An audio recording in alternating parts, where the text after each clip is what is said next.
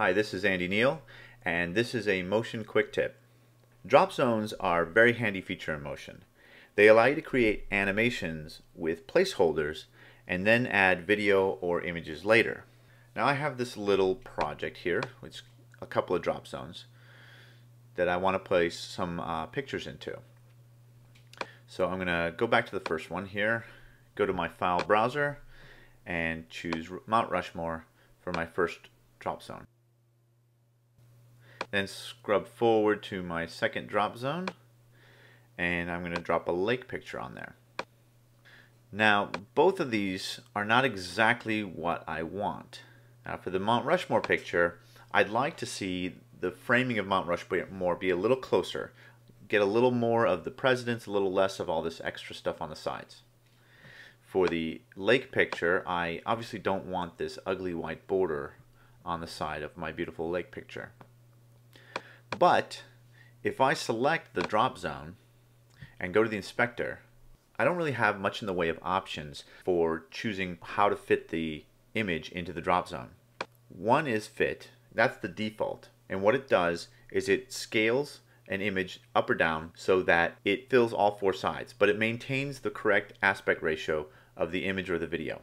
Center will place the video or image at its actual size without any scaling whatsoever and puts it in the exact center of the drop zone. Now, in this particular case, this is almost good. It's almost what I want. It's a little bit too close. It is still cutting off George Washington's head and uh, a little bit of Abraham Lincoln there. But it's, uh, it's much closer than the first choice. The final one is called stretch. And what stretch will do is ensure that the entire image or video is fit into the drop zone regardless of whether or not it has to change aspect ratio. And as you can see right here, it kind of squeezes it down. I'm going to change it back to fit and then scroll down to the second picture and my choices here don't help much either. Changing this to center cuts off my mountains, changing it to stretch gives me even more of the border that I don't want. So what I really need is some more control. Luckily, there is a workaround. If I go back to the beginning here to my first drop zone, what I'd like to do is first of all clear my drop zones. So I'm going to just hit clear here to turn it back into a regular drop zone and I'm going to do that for the second one as well. With the drop zone HD selected, the first thing I want to do is I want to group it. So I right click, choose group from the menu, and I want to make this a 2D group. Now it's important that this is a 2D group, but it's okay, it's inside of a 3D group, so the cameras and lights will still affect it. Okay? Now that I have my 2D group, reselect the drop zone HD, and then duplicate it by hitting Command D on the keyboard. Then let's name this. We'll call this mask, because what we're going to do is create an image mask.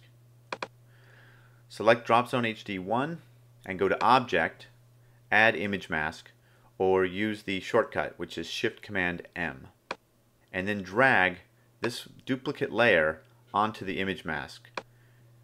Now let's drop our picture back in there, our Mount Rushmore. But this time we can now resize. Go to the inspector and the properties tab of the inspector and scale it up and now I can resize it to wherever I want and reposition it however I see fit. By using a duplicate of the original drop zone layer as the source for its own mask, we've essentially created a window with our drop zone behind it. This allows us to resize the drop zone, but we'll only ever see what's inside the window. Now we just need to do that to our second image. All right, once again, I'm going to select the drop zone HD and I'm going to right click, choose group from the menu, make it a 2D group, then select it again and duplicate it with Command D and I'll rename this mask 2 then with the drop zone HD2 selected I'm going to use the shortcut this time Command Shift M to create a image mask and I'm going to drop mask 2 into the image well to make that the source. Now I can go to my file browser drag my lake picture onto my drop zone and then select my drop zone and scale it and position it however I like. So I'm just going to zoom in a little bit until I get rid of that border and then maybe drag it down a little kind of like that. Looks good. Alright, do a quick render and see how it looks. Alright, looks good. One caveat that I'll make with this is that because we're using a mask on our drop zone, this will not work if you have images or drop zones in 3D space with reflections. Using an image mask precludes the use of reflections, but you can get all other 3D elements like shadows and lights will all work in this particular case. I'm Andy Neil, and this has been a Motion Quick Tip.